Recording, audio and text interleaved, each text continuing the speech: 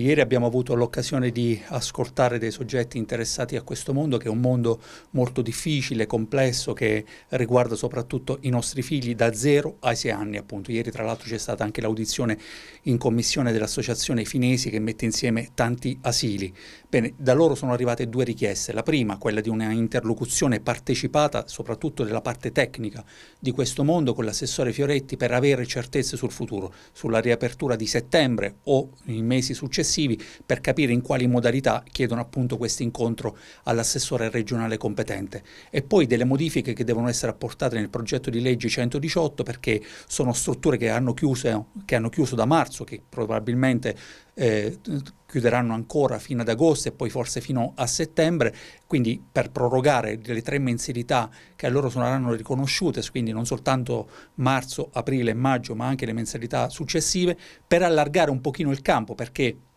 L'articolo 2 di questa legge si riferisce alle piccole e micro imprese, quindi fino a 10 dipendenti, ma tutti questi asili, questi nidi, eccetera, se rispettano la normativa regionale, la 66 del 2000, hanno tutte più di 10 dipendenti e poi naturalmente anche per allargare questa forchetta economica che di 2000 euro è sinceramente briciole rispetto alle perdite che hanno avuto. Ricordiamo che sono nidi di infanzia in cui i bambini non versano più le rette, non le versano più da, eh, dal mese di marzo e probabilmente non le verseranno fino ad agosto costo e quindi naturalmente ci sono dei costi fissi a cui queste strutture devono eh, far fronte. Ecco perché noi presenteremo come Partito Democratico degli emendamenti correttivi e in maniera propositiva a questo progetto di legge.